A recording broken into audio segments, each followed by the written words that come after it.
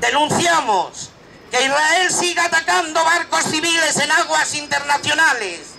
Denunciamos que un régimen racista y de apartheid continúe colonizando Palestina.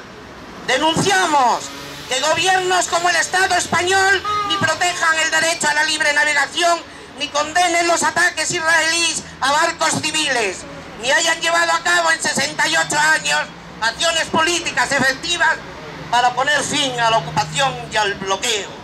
Exigimos, exigimos protección hacia las pasajeras de Zaitona, llevadas contra su voluntad a centros de detención israelíes y su inmediata puesta en libertad. Las flotillas y otras acciones directas seguirán produciéndose y en la sociedad civil seguirá llamando al boicot, a la parte israelí, como lo hizo contra el sudafricano, hasta que se ponga fin a la ocupación y al, bloqueo. ¡Viva Palestina libre! ¡Mueran los estados opresores! Bueno, me imagino que nadie ha pasado por aquí y se ha quedado sin saber dónde se quedaba. todos sabéis que han asaltado el barco de la flotilla de la libertad que se dirigía a Gaza para romper el bloqueo y nuestros queridos amigos piratas y terroristas israelíes lo que han hecho ha sido asaltar otra vez el barco, retener a las 13 mujeres que iban en el velero y llevárselas a Israel. Se está pidiendo la, que la suelten, está claro, y se está pidiendo la condena en todo el Estado español de la acción que ha hecho el gobierno de Israel. Es una más. Llevamos 60 años con planes de paz. Vemos que no hay solución al conflicto de Israel con el apoyo de las fuerzas y de los países europeos y de Estados Unidos sobre todo y de algunos países árabes. Realmente lo que está es permitiendo que estas cosas las puede llegar a hacer un país como, como Israel. Cualquier otro país como Venezuela, si hubiese hecho esto, pues imagino Cuba, pues seguramente ya hubieran habido allí eh, aviones, barcos y los marines, ¿no? Asaltándoles. Entonces, bueno, antes de dar paso al comunicado, que lo va a leer la compañera, eh, sí comentaros que desde distintas organizaciones, en este caso desde el Comité de Soya con los Pueblos, Interpueblos, estamos presentando mociones de apoyo al BDS en los distintos ayuntamientos y en el Parlamento de Cantabria. Hasta ahora eh, solamente lo han aprobado dos ayuntamientos. Os voy a leer un poquito el manifiesto o el acuerdo de lo que exigimos. Eh, en el acuerdo que pedimos a los ayuntamientos y al Parlamento era primero manifestar su adhesión y apoyo a la resolución del Parlamento Europeo del 17 de diciembre del 2014 por la que se reconoce el Estado de Palestina.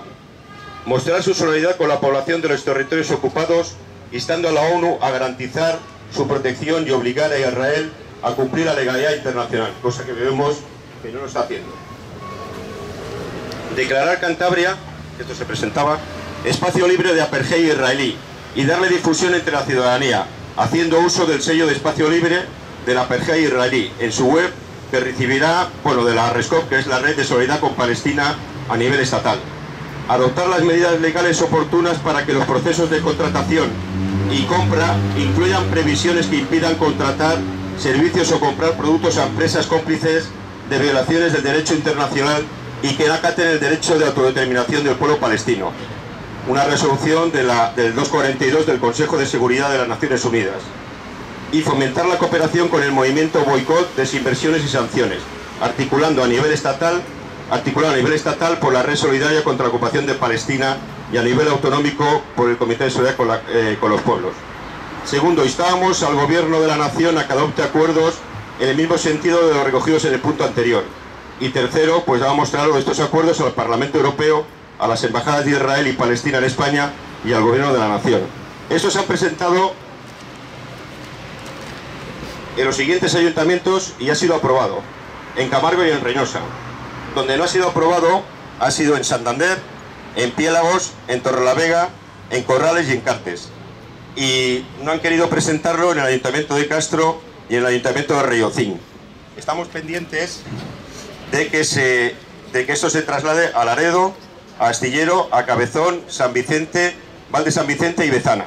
Y como veis, hasta dentro de los propios ayuntamientos o dentro del Parlamento, que tampoco ha sido aprobado, que el otro día se presentó a través de Podemos, eh, pues no han querido aprobarlo. Es decir, 27 eh, eh, diputados votaron que no, el PRC, el PP y Ciudadanos, el PSOE se abstuvo y solamente a favor pues votó Podemos, ¿no? Entonces, como vemos, es algo que a nivel internacional y a nivel también autonómico y local, es algo que la gente pues pasa de ello, le da igual los derechos humanos y la, y la legal internacional. Así que nada, de trasladar eso. Si queréis, es un micro abierto, la gente que quiera hablar, pues puede hablar, tenemos tiempo hasta las 9 de la noche y si queréis damos paso al comunicado y luego pues dejamos el micro abierto a que la gente opine o diga. Buenas tardes. Buenas tardes, gente solidaria. Esperemos que se junte todo Santander. Comunicado de condena tras el asalto al velero Zaitouna Oliva en aguas internacionales.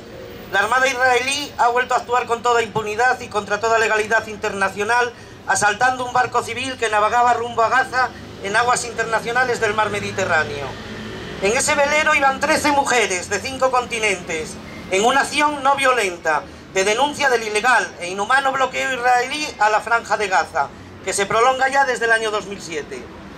Desde hace siete años, esos ataques, que constituyen actos de piratería en toda regla, han asaltado todos y cada uno de los barcos internacionales ha intentado romper el bloqueo marítimo del mar palestino de Gaza. Son acciones civiles pacíficas que protestan ante la pasividad de la comunidad política internacional, cuyas supuestas buenas intenciones diplomáticas para poner fin a la ocupación de Palestina se prolongan desde 1948. Y son las mujeres y hombres de todo el mundo quienes gritan que 68 años, coño, de diplomacia internacional en vano son demasiados años y a Palestina no se le puede pedir otros 68 años de paciencia. Este año han sido mujeres de todo el mundo quienes han gritado a Gaza que no está sola en su lucha contra el bloqueo y han tendido lazos de solidaridad con las mujeres palestinas resistentes, por Dios, ¿eh? a una triple opresión. Estas son las mujeres de Palestina. ¿eh? A la generada, a la generada por la ocupación israelí, a la causada por el patriarcado y a la opresión generada por la prejuiciosa mirada occidental. Durante la navegación por el Mediterráneo, seguramente el barco de mujeres habrá tenido a pocas millas otros barcos de mujeres, hombres, niños y niñas, que buscan refugio lejos de las guerras de países en conflicto. En Gaza, cuando cada dos años miles de bombas son lanzadas indiscriminadamente en las zonas más densamente pobladas del mundo, nada tiene posibilidad de huir, ni por el mar bloqueado, ni por la tierra cerrada, por un muro, ni por un aire poblado de drones y aviones de guerra. Esta madrugada, mañana, tarde, la piratería israelí ha impuesto la fuerza por encima de los derechos humanos y de la legalidad internacional. Se ha apropiado de nuevo del mar Mediterráneo, asaltando y deteniendo en aguas internacionales a 13 mujeres que han sido llevadas, secuestradas a Israel, lugar hacia el que en ningún momento se dirigía Zaitouna, cuyo destino era el puerto de Gaza en Palestina. Denunciamos que Israel siga atacando barcos civiles en aguas internacionales. Denunciamos que un régimen racista y de apartheid continúe colonizando Palestina. Denunciamos que gobiernos como el Estado español ni protejan el derecho a la libre navegación ni condenen los ataques israelíes a barcos civiles, ni hayan llevado a cabo en 68 años acciones políticas efectivas para poner fin a la ocupación y al bloqueo. Exigimos, exigimos protección hacia las pasajeras de Zaitona, llevadas contra su voluntad a centros de detención israelíes y su inmediata puesta en libertad. Las flotillas y otras acciones directas seguirán produciéndose y en la sociedad civil seguirá llamando al boicot, a la parte israelí, como lo hizo contra el sudafricano, hasta que se ponga fin a la ocupación y al bloqueo. ¡Viva Palestina libre! ¡Mueran los estados opresores! ¡Viva Palestina! ¡Viva Palestina! ¡Viva Palestina libre! ¡Viva Palestina! Ahí está muy bien,